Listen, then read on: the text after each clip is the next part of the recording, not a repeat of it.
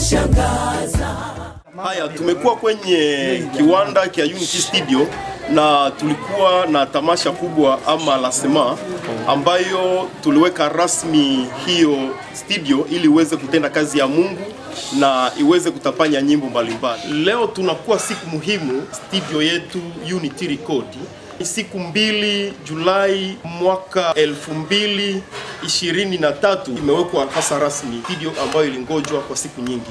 Ndio maana historia ya studio hii tuna yule ambaye tuliandamana kikazi director Giovanni Mutopi ambaye ataeleza kirefu kya kazi hizi za studio. Asante sana. Kiukweli tunawashukuru sana kwa tarehe ya leo, sababu kile ambacho kilikuwa ni ndoto sasa kimekamilika, na hakika tunasema Mungu wa mbinguni abarikiwe. Na kazi hizo, namna wametutoa swali ya kutoa story fupi tu kuhusu kazi hiyo ya studio Unity Record. Njozi hizo tulizianja tulipokuwa kwenye kazi ya kanisa la vijana, tulikuwa tukitia matope kwenye nyumba namna tulivyosema huko mbeleni, na wazo likatutokea, na hakika tunashuhudia ya kwamba Roho wa Mungu alikuwa pamoja nasi kwa njozi hizo na tukakuwa na njozi ya kusema ya kwamba inatubidi tuwe na studio yetu yetu ambayo itatusaidia katika kanisa letu la Musenze, hati itasaidia vijana wetu, hata tusaidie nje ya kanisa.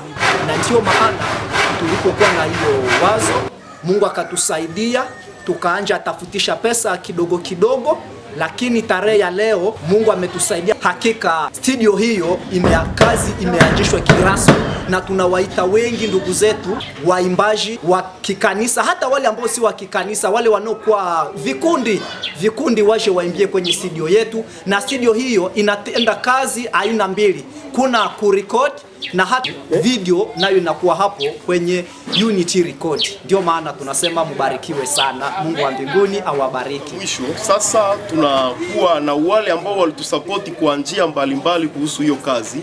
Mojawapo ya hao watu tunakuwa na yule mwakilishi wa mzee wetu Azongia Kiyaya. Asante kwa wote na jambo tena kwa watu ambao wanatufuata kwa hii muda. Sisi ni Nation Atongia Kiyaya Elvis, ni, ni kundi ambayo inaunga vijana mkono zaidi sana vijana wa Kikristo. Wenyewe walikuja hapa kuja kuzindua uh, rasmi studio yao, na kwa leo tulikuja kuwakilisha, na kwa sasa ni kusema tunashukuru uh, kanisa ya Kiadventist shukrani na kusema tutaweza kuwa pamoja na hiyo studio wakati tutakuwa tuko naendelea na kazi.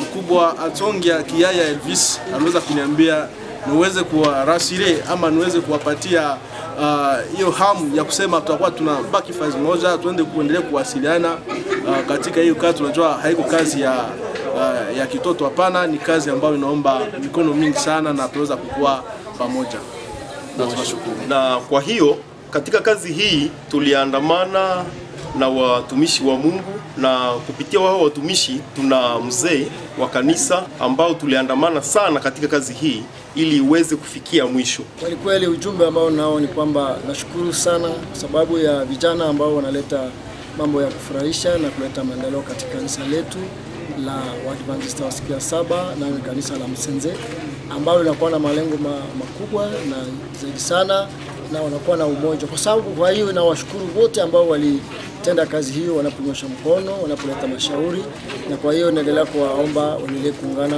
moja kwa moja, na ili kwamba kazi hiyo isonge mbele, kwa sababu si mwisho wa kazi.